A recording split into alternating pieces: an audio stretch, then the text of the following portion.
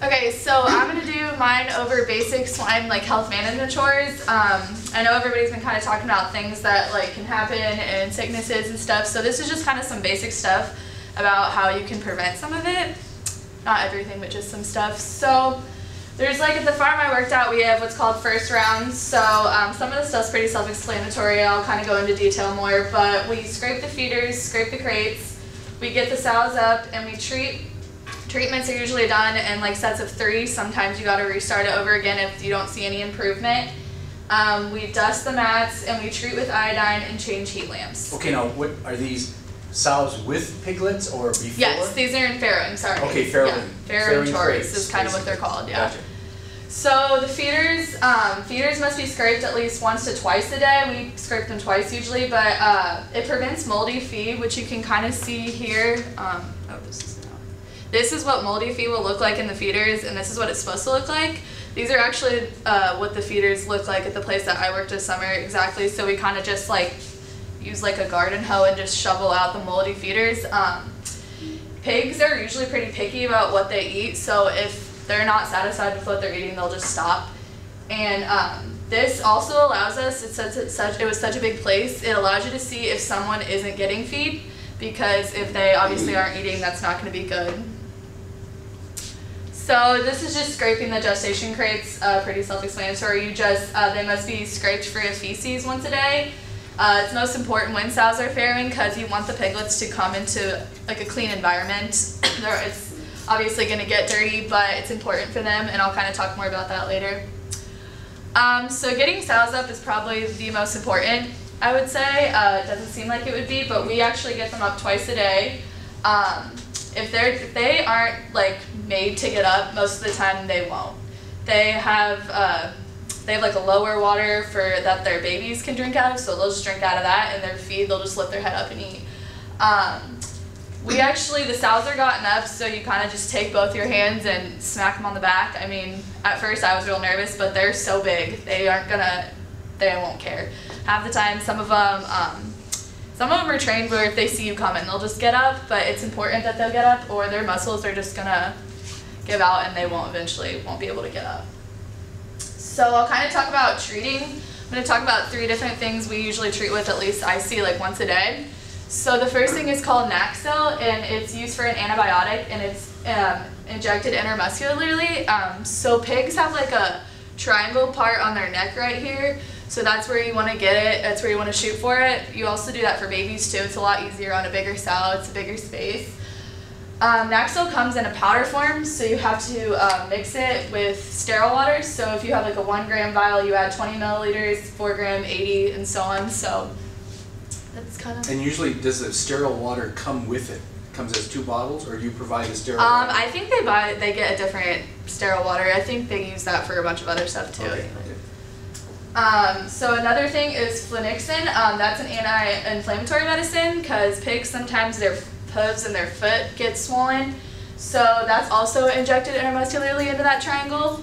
And that is 2 milliliters for every 45 kilograms of body weight, so that's about 100 pounds. So you're going to give them more than that. Now, what is, uh, I'm a little rusty on pigs, what's your maximum number of mils do you want to inject at any one site intramuscularly?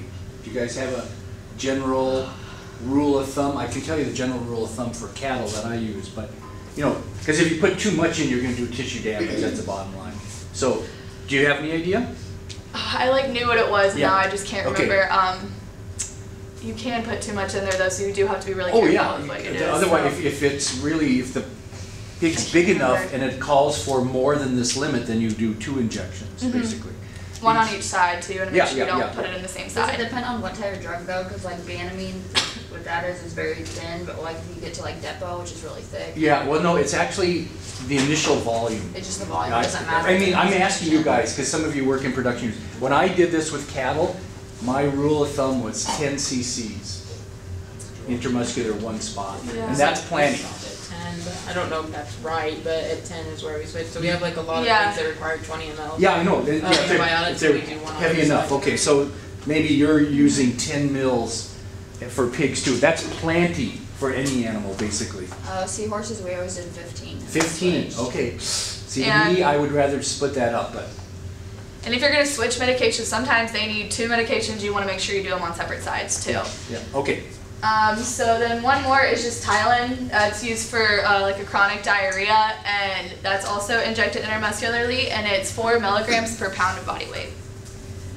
So the next thing we kind of do is dust. They have the piglets have like black bats in there in their crates, and they use what's called Mistral, and they mix it with soy. So uh, actually, uh, Mistral is composed of dry and like micronized clay, and that actually dries up the feces, the urine. And if you see a crate that has scours, which I kind of talked about last time, it's like that gross feces that the piglets get. That will actually dry it up, and you want to put it all over the piglets, all over the litter. The more, the better, to be honest. So. Um, and we use it's called like a, it comes in a big jug. It's called like gentle iodine. Pigs lay on their sides a lot. Um, so they, if they're in the gestation crate for 17 to 21 days, they're gonna start to get sores on either side. Um, so we spray, uh, you can kind of see it like right here. So they can get pretty bad. So we spray it with iodine and that will help kind of close up the wound and heal it. Sometimes they'll get them on their heads too if they're like down in their feeders a lot. Okay, don't go on yet. What if you see a bottle of iodine and it says tincture of iodine? What does that mean? Anybody know? Tincture of iodine? Mixture? It's mixed with X. What's X?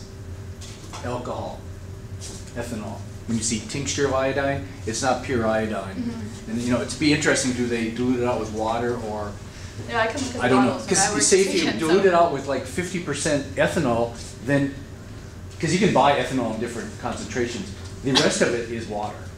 So if you fifty, say you've got seventy percent ethanol, well, thirty percent of it's already water. Isn't that betadine then? Well, there's different products, yeah, but I mean, I'm just curious. May- Okay, because may- I got straight iodine and then the mix with betadine. I, I doubt if there's anything that has straight iodine in it, you know what I mean? Yeah. So next time you're in the iodine thing, look at the bottle and come back and report to us. Okay. Okay, and the last thing we kind of do is just check for heat lamps. It's kind of self-explanatory too. Dead bulb lights, uh, light bulbs must be changed. Uh, they actually must be a certain, they can't be too high off the ground or too low to the mats. Um, we actually have like a stick that has a measuring thing on it, so we have to go through and adjust each one. And this is exactly what the heat lamps look like in the place that I work. So um, we usually have two uh, per crate while they're farrowing, and then they don't need them as much when they get older, so they'll usually just have one crate, one in there during wean. Now, do you do the, the stick, is it based on the age or is it always the same? It's always the same. So we like Okay, transfer okay. lamps between rooms. We'll have to like sterilize them too because they just don't have enough for every room. So like Okay. as a farrowing room gets loaded, we move the lamps And in then that from. stick is your standard? Yeah, it's like a standard. It has like a piece of tape on it. Sure, so. sure. Um, and then we have what's called the second round, and that's where we just go through, get the sows up one more time, and scrape any feeders and check to see if the feed has come through. If you didn't see it in the morning, um, sometimes it just takes a while for the machines to kick in. So and I'll just talk about two more quick things that happen every day. It's called sow washing. Kind of looks like a car wash they go through. So they come over from the breeding barn, and when they're about to give birth, um, we try to scrape, like soak them as much as we can. Um, the most important parts to get are their vulva and their flanks, where the babies are going to be eating from. So um, obviously we can't get them perfect. Um, since there's so many, so they'll usually load about like two, sometimes three rooms a day, and there's 60 in a Mhm. room. So it takes a big, pretty big team of people to do it. And the last thing that's done every day, the entire day, is there's a sow checker. She goes through and um, helps any moms that are in distress while they're giving labor. And this summer I actually got a chance to do it, so it was pretty interesting. Okay, so when you say pulling piglets, you're pulling them out of the sow? out of okay. yeah. So you can so you always use your left hand if she's laying on her left side, vice versa. Use your right if she's on her right side. Okay, wait a minute, let me see if I, if she's on her left, you use your left hand, yeah. hmm so you're Gotcha. going yep. And so you put like what it's like, like plastic sleeve and you put like lube on it and you kind of gently put your hand into her vagina And and, the smaller the hand, the better. yeah, smaller the aren't the ladies like a skinny like Yeah. small like Because some men's hands are, are, Purposes. you are perfect for this job. Alex, I work with kids. They're, yeah. But seriously, it's not like a cow. There's not as much room, obviously, as a cow. And I pulled piglets, and it's like my It's hand weird. was. I wish I had maybe somebody smaller along. They contract on your hand and it Yeah. squeezes pretty tight. So um, you generally don't want to reach past your elbow because that's just going up too far in her. Um, and she'll kick, so you gotta watch your face if it's pretty close down there. Um, if the piglet is coming head first, you wrap your hand around its ears and jaw and pull gently. And then sometimes it'll uh, come feet first. and you want to place your index fingers between the legs and the thumb on the outside of one leg and your middle finger on the other leg and pull gently.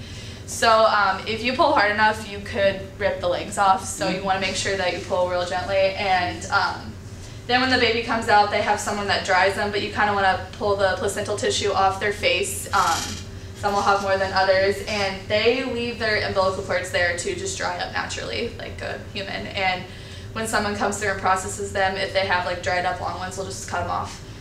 Um, so yeah, that's it. Okay, that that gave me a great idea. The next time I make an assignment, maybe we should have some obstetrics lessons. Because there's certain ways to do things and It was certain cool. ways not. that was my favorite thing I did all summer. Yeah, cool. yeah. Okay, questions? Here's one over here. Yeah. Why do you use your left hand if she's laying on her left side and Okay, right on right? good. See, I had to picture a sow on her left side and. She's on her, s- yeah, so Yeah. she's on her, it's just, so you're not, It- I can't remember It's, it's basically mechanical, cause you, It if depends she's, on the crate that you're in because Mhm. there's certain crates that when she if she goes to stand up, you're gonna get your arm caught.